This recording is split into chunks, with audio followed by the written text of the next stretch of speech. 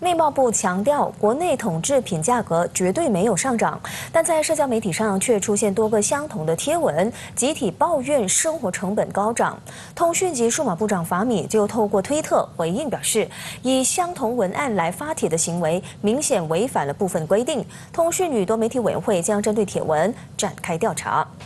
法米在推特上转发并回复阿杜拉尼粉丝页一则推文时表示，这些复制式的贴文为协同性造假行为。有关推文附上四张有关物价的贴文截图，都是透过类似的文案抱怨每月生活开销从二百令吉涨至五百令吉。